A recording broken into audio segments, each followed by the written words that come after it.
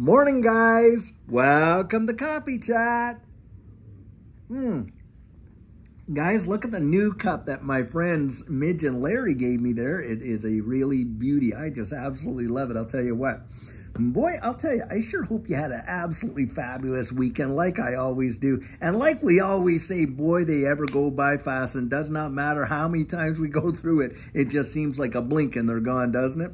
Well, guys, Tell you what, the article that I was reading today shows you the level of absolute ignorance. Well, the way I would, out of touch, some of these, you know, big time elites are, because this article is coming from Al Gore. Now, Al Gore is out there saying, hey, and people having access to information outside of like, you know, the mainstream media is like a threat to democracy. I mean, you have got to be kidding me. He's literally out there saying that, you know, all these social media platforms like YouTube and X and all this kind of stuff and TikTok and, you know, you name it, Instagram, they all should be banned. And the only sources of media that you and I should be able to have access to is what's fed to us from the mainstream. Now, have you literally heard it all if you've heard that? I mean, guys, these people really, really do believe that they have some sort of uptick on the way life should supposed to go way beyond the rest of us that you and I, and they come out with this kind of nonsensical malarkey while they fly around the world in their absolute jets, you know, all these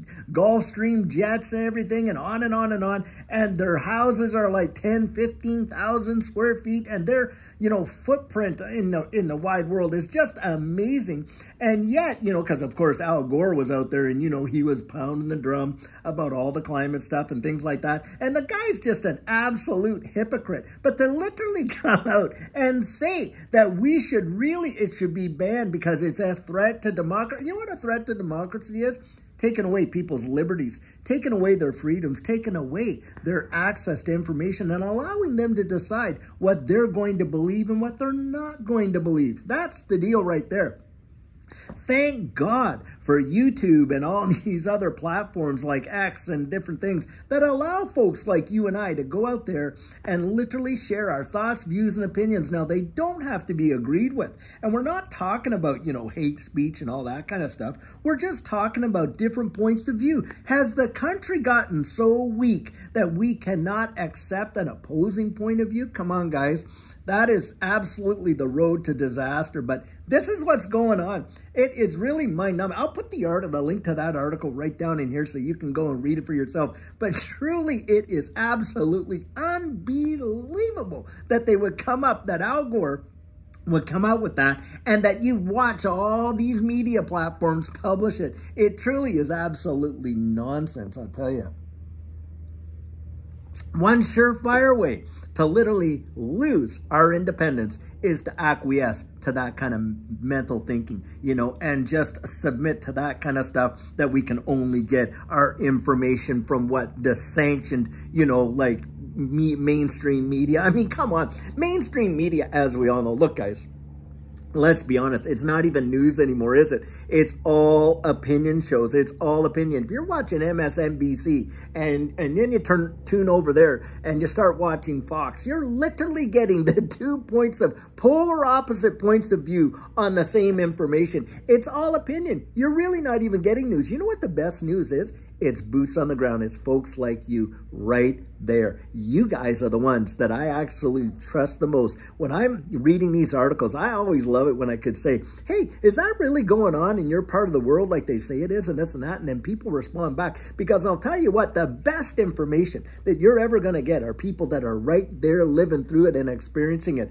And that is powerful. And of course, that's why they want to take it away from us, guys. They want to take away that power because they need to have absolute dominion and control over the narrative right there. Don't drink the Kool-Aid. Think for yourself. Critical thinking, one of the best gifts you can give yourself is to teach yourself how to critically think. Absolutely zero doubt. Well, guys, today, I'll tell you what, I was out early this morning working on my solar project and all that. That's why Coffee Chat's just a little bit out. Can't wait to get it all finished. I'm hoping by the end of the week it'll be completely done. But needless to say, guys, I'll tell you what, it's really an interesting project and stuff like that. It's always fun. I feel like a, you know, a grown-up kid playing with Legos and stuff like that. It's quite interesting to be sure. But I'll tell you what, I sure hope you're having an amazing Monday. I think this week is going to be jam-packed with all kinds of stuff in this space. That's absolutely for sure. And just look at the prices that we saw come up over the weekend. And of course, we're coming back down to retrace to that prior resistance as support. And guys, I really believe that after we tag that down there and we find that support, that boom, we're up for another leg. That's what I suspect happens. And guys, in this space, it happens some fast. That's to be sure. Well, hey, until later on when we have an amazing video for you, have a great one, guys, and take care.